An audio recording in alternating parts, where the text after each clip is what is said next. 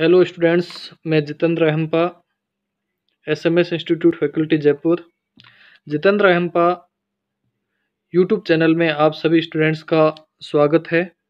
साथियों, जो model paper की टेस्ट सीरीज़ अंक फाइव को लेकर के मैं आपके सामने हाजिर हूँ, भारतीय इतिहास के जो क्वेश्चन उत्तर है, उसके ऊपर अपन चर्चा कर रहे हैं।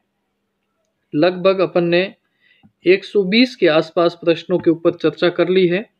और आगे जो है महत्वपूर्ण प्रश्न है, ये साथियों कंटिन्यू सिंधु घाटी सभ्यता से लेकर के और साथियों देश के आज़ाद होने तक, गांधी युग तक साथियों चलेंगे। ये आपके सभी एग्जामिनेशन के लिए अति महत्वपूर्ण है। पुलिस से लेकर के आर तक के जो साथियों क्वेश्चन आए हुए हैं, महत्वपूर्ण और साथियों मेरे द्वारा कुछ क्वेश्चन बनाए हुए भी है। ये आपके आपके फॉर फ्यूचर में एग्ज़ाम में आने के चांस है। या फिर साथियों, आपके क्वेश्चन आने के चांस है या फिर साथियों, जो पुराने पेपर आ रखे हैं तो इस हिसाब से मैंने अपने अनुभव के अकॉर्डिंग ये आपके सामने क्वेश्चन पेपर तैयार किया है। हाँ जी स्टूडेंट्स आप जल्दी से जल्दी जुड़ जाइएगा और ये आप इस यूट्यूब चैनल को, इस लिंक को साथियों, अपने स्टेटस पे शेयर कर लीजिएगा ताकि और भी स्टूडेंट है वो इसको देखें और साथियों, सभी को बेनिफिट हो सके। और साथियों, आप इस यूट्यूब चैनल को और इस वीडियो को लाइक कर लीजिएगा, अधिक से अधिक शेयर कर लीजिएगा। आपने मेरे इस यूट्यूब चैनल को सब्सक्राइब नहीं किया तो साथियों, सब्सक्राइब कर लीजिएगा। चलो स्टूडेंट्स, अपन स्टार्ट करते हैं। प्रचार हो गया बहुत, है ना? क्वेश्चन नेक्स्ट अपन स्टार्ट करते हैं। क्वेश्चन 120 तक हो गए 121 से स्टार्ट करते हैं। साथियों, प्रत्येक क्वेश्चन के बाद में आपको मैं लगभग 15 से 15 के आसपास सेकंड का समय दूँगा। हाँ और साथियों, अभी जो भी स्टूडेंट्स मेरे इस यूट्यूब चैनल को या इस वीडियो को देख रहे हैं अपने पास में एक पेन कॉपी रखिएगा और उसमें मेंशन करते जाइएगा कि पहला क्वेश्चन सही दूसरा सही तीसरा गलत है तो गलत। साथ ही उस हिसाब से मुझे कमेंट करके बताना कि आपके कितने क्वेश्चन सही हुए हैं ठीक है? जैसे मैं आपके सामने डेली के डेली तीस क्वेश्चन रख रहा हूँ तो तीस में से आपके क्वेश्चन कितने सही हुए ये क्वेश्चन मुझे आ, इसका मुझे बताना ताकि मुझे पता चले कि आपकी तैयारी कैसी चल रही है उस सभी चीज़ों से। तो साथियों अभी अपन एक सौ इक्कीसवा क्वेश्चन है, उसके ऊपर चलते हैं। कमेंट करके जब बताना कि आपके कितने क्वेश्चन सही हुए हैं, ठीक है? चलो क्वेश्चन नंबर फ़र्स्ट आज का फ़र्स्ट और साथियों कंटिन्यूटी के अकॉर्डिंग एक सौ एक सौ इक्कीसवा क्वेश्चन है। प्रश्न पढ़ रहा हूँ ऑप्शन पढ़ूँगा और दस बारह सेकंड का समय दूँगा, उसमें आप अपना आंसर बता देना। क्वेश्चन फ़र्स्ट है, सात वाहन, या सा, आंध्र सातवान वंश का संस्थापक कौन था? ऑप्शन फ़र्स्ट शिमुख ऑप्शन सेकंड सात करणी। थर्ड है, गौतमी पुत्र सातकर्णी चौथा है, विशिष्टि पुत्र पुलुगामी। साथियों, ये आपके चार ऑप्शन है और इसमें से जल्दी से जल्दी बताइएगा। जल्दी कीजिएगा स्टूडेंट्स इस क्वेश्चन का आंसर बताइएगा।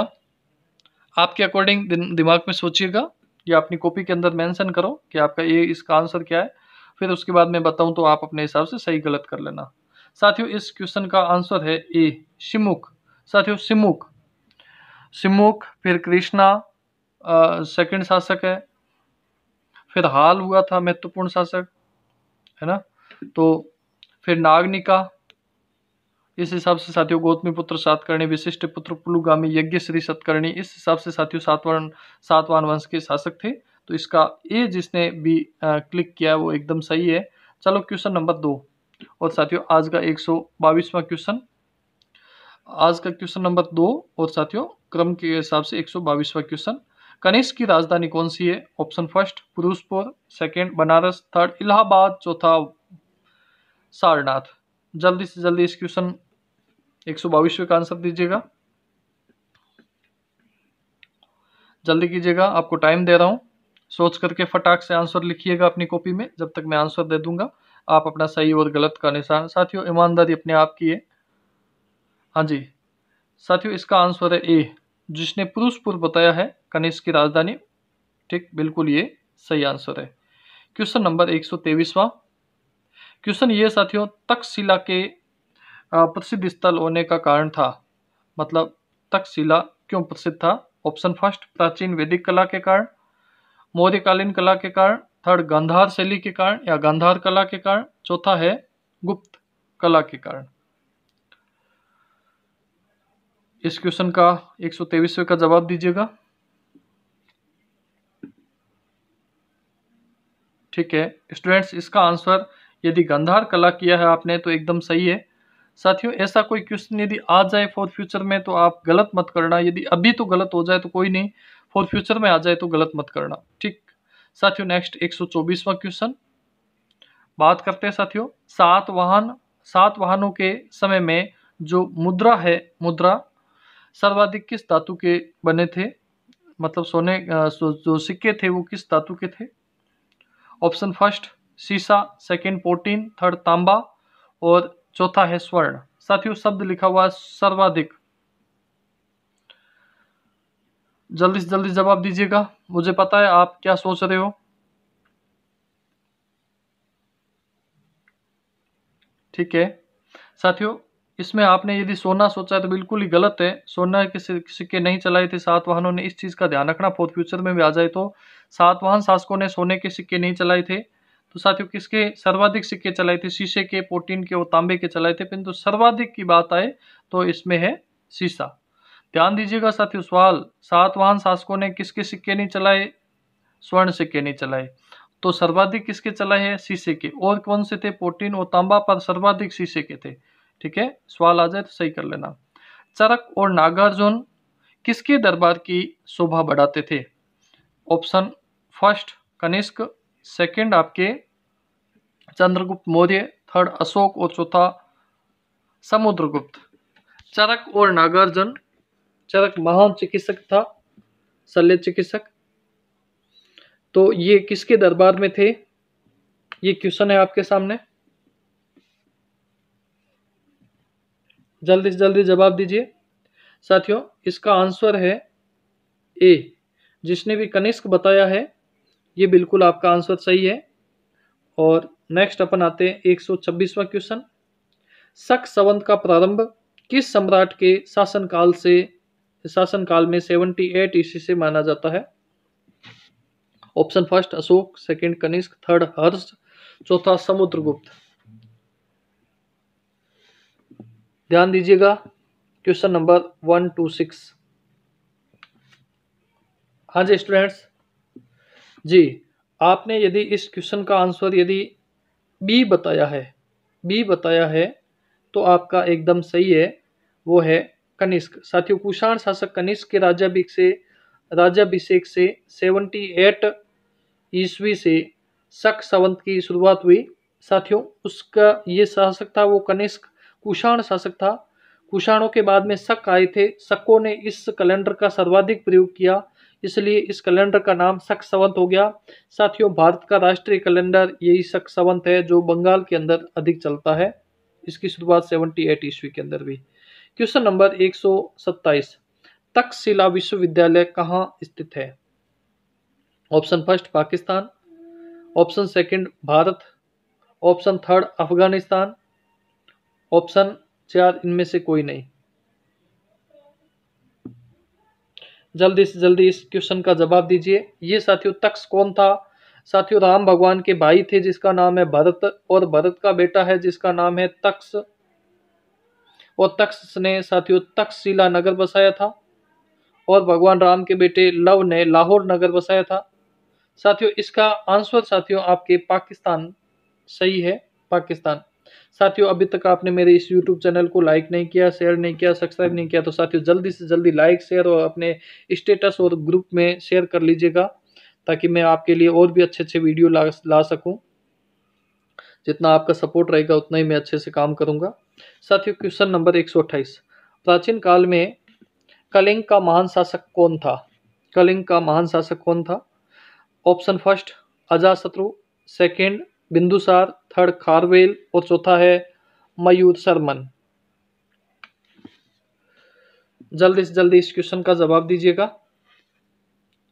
स्टूडेंट्स आपके लिए इतने अच्छे क्वेश्चन मेहनत करके तैयार करता हूँ और निःशुल्क आपको प्रोवाइड करवाता हूँ तो स्टूडेंट्स कम से कम आप मेरा थोड़ा सा सपोर्ट करें अधिक से अधिक शेयर करें, ताकि स्टूडेंट्स सालियों साथियों, इसका आंसर है तीन खारवेल कलिंग का महान शासक था खारवेल ठीक है?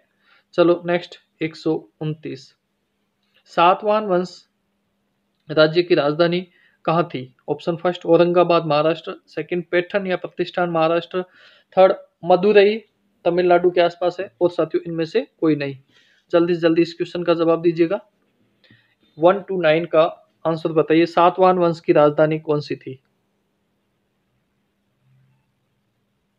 हाँ जी, स्टूडेंट्स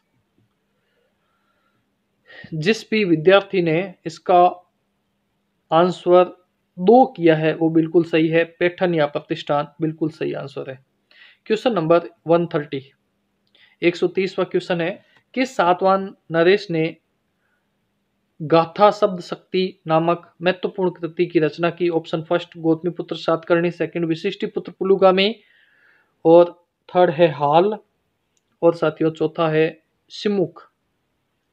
सातवां शासक है।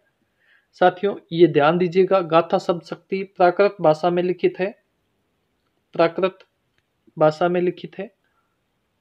जल्दी से जल्दी इस क्वेश्चन का जवाब दीजिए। गाथा शब्द शक्ति पुस्तक के, गाथा शब्द शक्ति पुस्तक के लेखक कौन है? हाँ जी स्टूडेंट्स इस क्वेश्चन का आंसर है हाल। हाल, साथियों, विभिन्न मत्स्य पुराण के अकॉर्डिंग साथियों सातवाहन वंश का सत्रहवा शासक हुआ था हाल। और साथियों, हाल ने प्राकृत भाषा के अंदर गाथा शब्द सती पुस्तक लिखी थी। और साथियों, ये प्रेम प्रसंग को लेकर के साथियों, बनाई गई ये पुस्तक है, लिखी गई पुस्तक है। Next question one three one सातवान शासकों को राजकीय भाषा थी। सातवान शासकों की राजकीय भाषा थी। राजकीय भाषा option first Pali. Second Prakrit. Third Sanskrit. या चौथा कोई नहीं। जल्दी से जल्दी इस क्वेश्चन का जवाब दीजिएगा। सातवाहन वंश के शासकों की राजकीय भाषा थी। हाँ जी स्टूडेंट्स चलो इसमें साथियों आपके आंसर जिसने बी प्राकृत किया है तो इसका आंसर सही है, प्राकृत। सातवान शासकों की राज की भाषा थी। नेक्स्ट है क्वेश्चन नंबर नेक्स्ट विक्रमी स्वंत की शुरुआत कब से मानी जाती है? साथियों विक्रमी स्वंत कोई मालव संवंत भी कहते हैं। मालव संवंत कहते हैं। हाँ जी। जल्दी जल्दी जवाब दीजिएगा। ऑप्शन फ़र्स्ट सेवेंटी एट ईस्वी में, ऑप्शन सेकंड फिफ्टी सेवन ईसा पूर्व में, थर्ड सेवेंटी टू ईस्वी में और चौथा है फिफ्टी सिक्स ईस्वी में।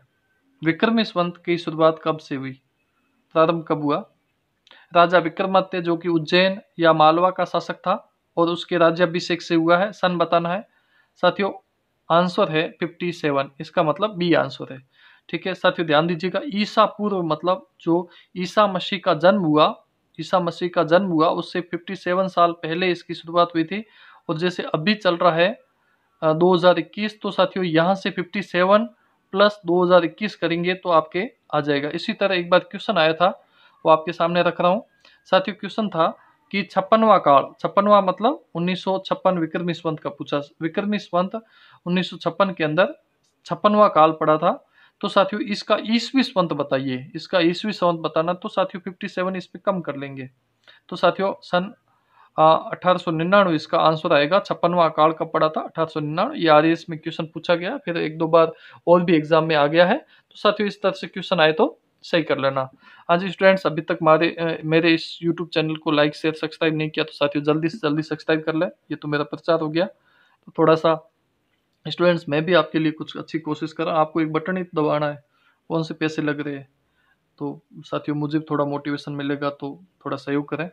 हाँ वन थ्री थ्री एक सौ तैतीसवा क्वेश्चन है। सातवां नरेश, हाल के समकालीन गुणाढ़ ये शब्द है गुणाढ़ गुणाढ़ ने किस प्राकृत भाषा की रचना की ऑप्शन फ़र्स्ट वृद्ध कथा second Buddhacharita option third लिलवे, और चौथा है सत सई।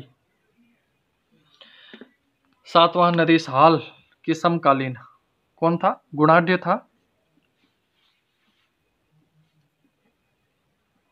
हाँ जी, साथियों, इसका यदि आपने आंसर जल्दी कीजिएगा। एक सौ तैतीसवा क्वेश्चन है। इसका आंसर जल्दी जल्दी बताइएगा। इसने आपने यदि ए बताया है वृद्ध कथा तो ये साथियों, बिल्कुल आपका आंसर सही है। Question number one three four Tamil भाषा में शिल्पाधिकारम और मणिमेकलई नामक गौरव ग्रंथ किससे संबंधित है? ऑप्शन फ़र्स्ट जैन धर्म से। ऑप्शन सेकंड बौद्ध धर्म से। ऑप्शन थर्ड हिंदू धर्म से। और ऑप्शन चार है, ईसाई धर्म से।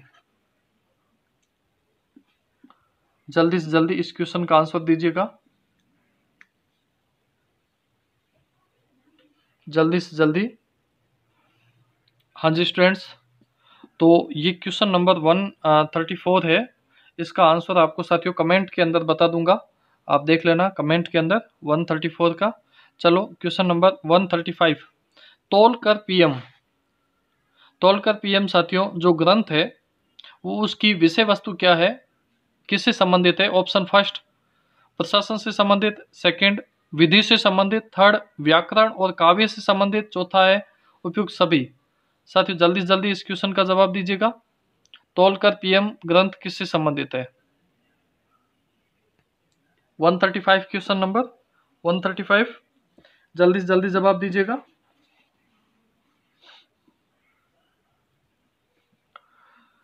हाँ जी इसका यदि आपने आंसर दिया है तीन तो ये बिल्कुल सही है। व्याकरण और काव्य से संबंधित तोलकर पीएम, ये जो ग्रंथ है, इसके पुस्तक के लेखक तोलकर पियर है, जिसने लिखी है पुस्तक तोलकर पीएम। तोलकर पियर ने तोलकर पीएम पुस्तक लिखी है, जिसके अंदर तमिल व्याकरण और काव्य से संबंधित है। चलो नेक्स्ट क्वेश्चन नंबर 136 संगम निम्न में से किससे संबंधित है? संगम। संगम का वैसे शाब्दिक अर्थ मिलन होता है, और साथियों, इसमें बताइए, देखिए, किसका मिलन हुआ है? ऑप्शन फ़र्स्ट व्यापारियों से संबंधित, सेकंड कलाकारों से संबंधित, थर्ड विद्वानों से संबंधित, और साथियों, चौथा है प्रशासनों से संबंधित, प्रशासकों के संबंधित। चलो जल्दी से जल्दी जवाब दीजिएगा। हाँ जी, साथियों, इस क्वेश्चन का आंसर है तीन, विद्वानों से संबंधित, यदि ये संगम निम्न में से किससे संबंधित है तो साथियों, तमिल विद्वानों से संबंधित है। साथियों, अभी तक मेरे इस यूट्यूब चैनल को शेयर, सब्सक्राइब लाइक नहीं किया, जल्दी से जल्दी लाइक शेयर सब्सक्राइब कर लें। बार बार याद दिला रहा हूँ। हाँ जी नेक्स्ट क्वेश्चन है आपके। तमिल काव्य का इलियड किसे कहा जाता है? इलियड ओडिसी होते हैं साथियों, इंग्लिश के अंदर। तो साथियों, इलियड किसको कहते हैं? Option first Tolkappiyam option second Kural. Kural साथियों, पुस्तक है ना, बहुत ज़्यादा फ़ेमस है। तिरुवल्लुवर ने लिखी थी। संत, देखो, अपन कभी कभार छोटे से पढ़ते थे, तिरुवल्लुवर एक संत था, अपने क्लासेस के अंदर पाठ हुआ करता तिरुवल्लुवर का। ऑप्शन थर्ड शिल्पति कारम और चौथा है मणि मेकलई तो जल्दी से जल्दी इस क्वेश्चन का आंसर दीजिएगा। तमिल का इलियड किसे कहा जाता है? क्वेश्चन नंबर एक आंसर साथियों, इसका, शिलपति यदि कारम यदि ऑप्शन आपने किया तो बिल्कुल एकदम सही है। चलो नेक्स्ट 138 तमिल का काव्य का ओडिसी किसे कहा जाता है? Iliad Odyssey. Option first. तो ये साथियों, इलियड की बात हो गई। अब ओडिसी की बात करते हैं। किस ग्रंथ को ओडिसी कहा जाता है? Tolkappiyam, option first. Second Kural. Third Silappatikaram और चौथा है मणिमेकलई जल्दी जल्दी इस क्वेश्चन का जवाब दीजिएगा। 138 का। हाँ जी स्टूडेंट्स यदि आपने इसमें मणि मेकलई किया है तो एकदम परफेक्ट आंसर है। और इलियड कौन सा है? शिल्पति कारम। और साथियों तमिल का ओडिसी है मणि मेकलई ठीक है? क्वेश्चन नंबर नेक्स्ट 139 गुप्त वंश का संस्थापक कौन था? वास्तविक संस्थापक नहीं, संस्थापक पूछ रहा हूँ। Option first Ghatotkacha. Option second Chandragupta first option third Srigupta. और चौथा है, कोई नहीं। जल्दी से जल्दी इस क्वेश्चन का जवाब दीजिए।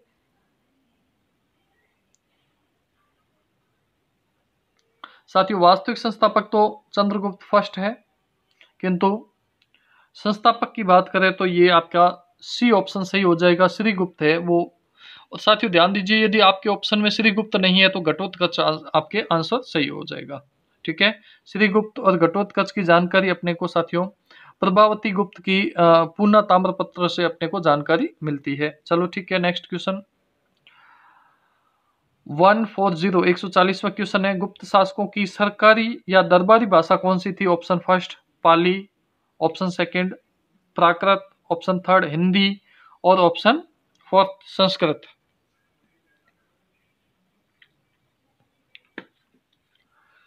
जल्दी से जल्दी जवाब दीजिएगा।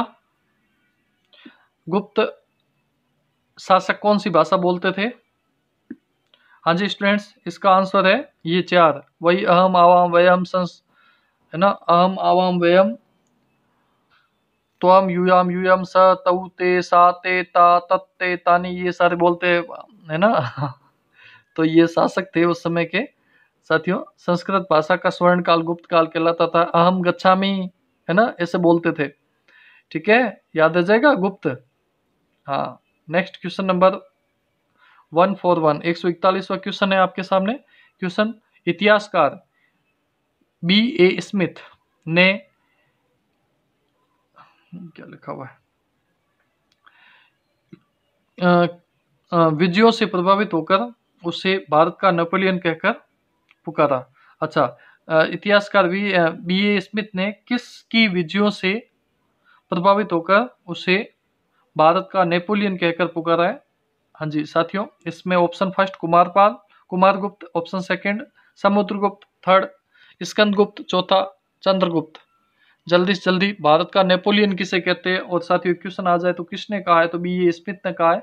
तो भारत का नेपोलियन किसे कहते हैं? जल्दी जल्दी जवाब दीजिएगा। हाँ जी, यदि ये मैंने शासक आपको पढ़ाया, आपकी कॉपी में सबसे पहली लाइन यही लिखाई कि इसे भारत का नेपोलियन कहते हैं। व्यक्ति का नाम है समुद्रगुप्त। ठीक है? प्रस बोधरण और ग्रह मोक्षानुग्रह की नीति अपनाई थी। आपने अभी तक मेरे इस यूट्यूब चैनल को लाइक शेयर सब्सक्राइब नहीं किया तो जल्दी से जल्दी कर लो। चलो question number next one four two Ajanta कलाकृतियाँ किससे संबंधित है? मतलब किस काल में इसका निर्माण हुआ था? अजंता का गुफाओं और एलोरा की गुफाएँ जो है, चित्रकारी के लिए प्रसिद्ध है। ऑप्शन फ़र्स्ट हड़प्पा काल में। ऑप्शन सेकंड मौर्य काल में। ऑप्शन थर्ड बुद्ध काल में ऑप्शन चार है गुप्त काल में। जल्दी से जल्दी इस क्वेश्चन का जवाब दीजिएगा। अजंता की कलाकृतियाँ किससे संबंधित है? साथियों, इसका आंसर है आपके, जल्दी से जल्दी जवाब दो। ऑप्शन फोर ठीक है गुप्त काल में। ठीक है नेक्स्ट क्वेश्चन एक सौ वन फोर थ्री। कौन सा four three? One four three. कवि कालिदास किसके राज कवि थे? कवि कालिदास किसके राज कवि थे?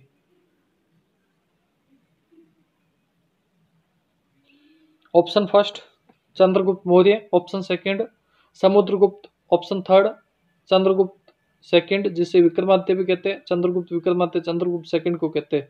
Option fourth, Harshvardhan. कालिदास किसके दरबार में थे स्टूडेंट्स कालिदास। खूब।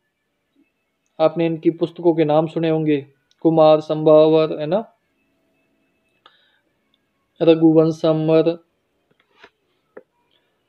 मेघदूतर, अभिज्ञान शकुंतलम, मालविका अग्निमित्र विक्रमार्वशी ये सारी इनकी पुस्तकें हैं। जल्दी जल्दी जवाब दीजिए। किसके दरबार में थे? चंद्रगुप्त विक्रमादित्य के। ठीक है? ऑप्शन इसमें थर्ड सही है। फाहयान, नेक्स्ट क्वेश्चन है आपके। सामने फाहयान किसके शासनकाल में भारत आया था? साथियों option first Chandragupta first second Ashoka third Harshavardhana, और चौथा है चंद्रगुप्त विक्रमादित्य, जिसे चंद्रगुप्त सेकंड कहते हैं। फाहयान, साथियों, देखो, ध्यान दीजिएगा। अपन बात करें, देखो, हर्षवर्धन के समय एनसांग आया था। अ से एनसांग अ से हर्षवर्धन। ठीक है तो फाहयान किसके दरबार में आया था? बिल्कुल साथियों, आपने यदि सोचा है इसका ऑप्शन चार तो आपका एकदम परफेक्ट आंसर है। एनसांग हर्षवर्धन के समय आया तो फाहयान ठीक है? चंद्रगुप्त सेकंड या चंद्रगुप्त विक्रमादित्य के समय आया था। फाहयान ने फूको की पुस्तक लिखी फू को की इसकी पुस्तक है। और साथियों, हर्षवर्धन की हर्षवर्धन के दरबार में आया था एनसांग जिसने सी यू की पुस्तक लिखी। सी यू की, ये इन दोनों की यात्रा वृत्तांत है। इस हिसाब से साथियों मैंने बताया आपके सामने। Question number one four five भारतीय संस्कृति का स्वर्ण युग किसे कहते हैं? Golden period of Indian culture known age option first Maurya empire option second Rajput empire option third Chola empire option fourth Gupta empire ठीक है? मौर्य साम्राज्य, राजपूत साम्राज्य मौर्य चोल साम्राज्य या गुप्त साम्राज्य या गुप्त काल कह सकते हैं। गुप्त पीरियड। जल्दी से जल्दी जवाब दीजिएगा। भारतीय संस्कृति का स्वर्ण युग किसे कहा जाता है? साथियों, इसमें यदि आपने ऑप्शन चार यदि क्लिक किया तो आपका एकदम आंसर सही है। ऑप्शन चार, इसका एकदम परफेक्ट आंसर है। डी भारतीय संस्कृति का स्वर्ण युग कहा जाता है गुप्त काल को। ऑप्शन, साथियों, अभी तक मेरे इस यूट्यूब चैनल को लाइक शेयर सब्सक्राइब नहीं किया तो साथियों कर लो, क्योंकि आप ही तो मेरे गुलाब जामुन हो, है ना? आपसे ही तो मैं हूँ, शिक्षक के बिना, छात्र अधूरे और छात्र के बिना शिक्षक अधूरा। आप सभी छोटे, बड़े बहन भाइयों से ही मैं प्रेरित होकर के आपके लिए इतना कर रहा हूँ। लाइक शेयर सब्सक्राइब कर लेना स्टूडेंट्स नेक्स्ट क्वेश्चन नंबर ये वन फोर सिक्स चंद्रगुप्त ने विक्रमादित्य की उपाधि कब धारण की? जल्दी जल्दी बताइए। विक्रमादित्य की। खूब कहानियाँ सुनाई थी क्लास के अंदर, याद हो तो। ऑप्शन फ़र्स्ट शक्कों के उन्मूलन के बाद।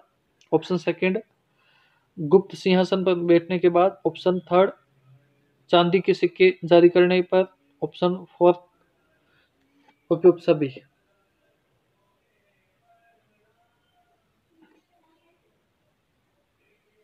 उपाधि कब धारण की। जल्दी से जल्दी जवाब दीजिए। साथियों, ध्रुव स्वामिनी वाली कहानी और आपको पता ही है, एक देवी चंद्र गुप्तम विशाख दत्त की पुस्तक, उसकी कहानी मैंने सुनाई थी। याद हो तो साथियों, ऑप्शन फ़र्स्ट शकों के पराजय के बाद में। शकों को पराजित किया था, आपको पता है ना? हाँ जी, ध्रुव स्वामिनी को ले गया था, खूब चुटकुले सुनाए थे क्लास में। Next question number one four seven Dhanvantari कौन थे? या किसके दरबार में थे? देखो साथियों, इसमें ऑप्शन फ़र्स्ट चंद्रगुप्त मौर्य के विख्यात general option second Chandragupta Vikramaditya के दरबार में ऑप्शन थर्ड नवरत्न में से एक जो कि प्रसिद्ध चिकित्सक थे ऑप्शन नेक्स्ट फोर्थ है हर्ष के समय के एक प्रसिद्ध नाटककार।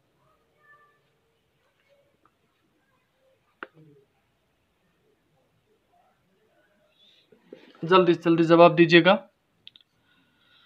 हाँ जी, इसका साथियों, आंसर यदि आपने दो क्लिक किया तो बिल्कुल सही है। साथियों, चंद्रगुप्त विक्रमादित्य जिसे चंद्रगुप्त सेकंड कहते हैं उसके दरबार में एक चिकित्सक थे। नवरत्नों में से एक चिकित्सक थे। ठीक बात है? तो इसमें चंद्रगुप्त विक्रमादित्य के दरबार में नवरत्नों में से एक प्रसिद्ध चिकित्सक थे, जिसका नाम था धनवंतरी। ठीक है? चलो नेक्स्ट वन फोर एट एक सौ अड़तालीसवा क्वेश्चन गुप्त स्थापत्य कला का सर्वोत्तम मंदिर निम्न में से कौन सा है? ऑप्शन फ़र्स्ट बित्री गाँव के मंदिर ऑप्शन सेकंड देवगढ़ का दशावतार मंदिर। ये क्वेश्चन अभी फ़र्स्ट ग्रेड में भी आया था। ऑप्शन थर्ड बुमरा का भगवान शिव मंदिर। और चौथा तिगवा का विष्णु मंदिर। ये तिगवा लिखा हुआ स्टूडेंट्स कुछ टाइपिंग मिस्टेक है तो कोई दिक्कत नहीं। मैं बोल रहा हूँ, उसके ऊपर ध्यान देना। तिगवा का विष्णु मंदिर। ये चार ऑप्शन है। जल्दी से जल्दी इसका सर्वोत्तम उदाहरण। हाँ जी, देवगढ़ झांसी के आसपास है। यदि आपने इस क्वेश्चन का आंसर दो दिया है, देवगढ़ का दस अवतार मंदिर। देवगढ़ का दस अवतार, साथियों, दस अवतार हुए थे। भागवत धर्म के अकॉर्डिंग इसका आंसर भी है। दस अवतार, साथियों, मत्स्य अवतार, कुर्म अवतार वरा अवतार वरा अवतार उसके बाद में साथियों नरसिंह अवतार, वामन अवतार, परशुराम, राम, बलराम, बुद्ध और कल की। साथियों, ये कल की भविष्य में होगा। इस तरह से मैंने आपके सामने मत्स्य पुराण में वर्णित दस अवतारों का बताया है, ठीक है?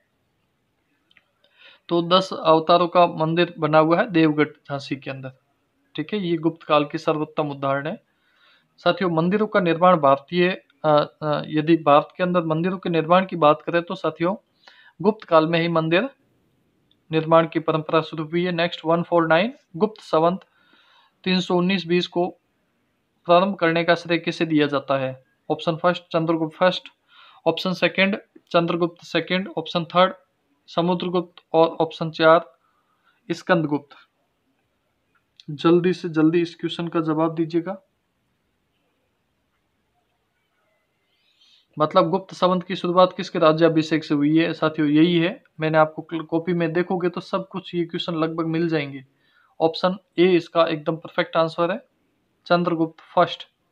गुप्त शासक चंद्रगुप्त फ़र्स्ट, जिसे वास्तविक संस्थापक भी कहते हैं, जिसने लिच्छवी राजकुमारी कुमारी देवी से विवाह किया था और उससे बेटे की उत्पत्ति हुई, उसका नाम है समुद्रगुप्त।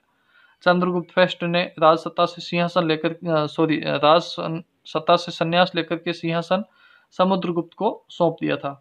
साथियों नेक्स्ट क्वेश्चन नंबर 150 गुप्त काल का प्राचीन नाम, प्राचीन भारत का क्लासिकल युग क्यों कहा जाता है? गुप्त काल को क्लासिकल युग क्यों कहा जाता है? स्वर्णिम काल जिसको अपन कह सकते हैं, भारत का स्वर्ण काल क्यों कहा जाता है? प्राचीन भारत का स्वर्ण काल गुप्त काल को क्यों कहा जाता है? ऑप्शन फ़र्स्ट, व्यापार के अभूतपूर्व प्रगति के कारण, ऑप्शन सेकंड, कला व संस्कृति के क्षेत्र में अपने चरमोत्कर्ष के कारण, ऑप्शन थर्ड, प्रचुर मात्रा में स्वर्ण सिक्के चलाए जाने के कारण, ऑप्शन चार, इनमें से उपयुक्त सभी। ऑप्शन, इसमें से कौन सा सही है? आपके अकॉर्डिंग, जल्दी से जल्दी इस क्वेश्चन का जवाब दीजिएगा।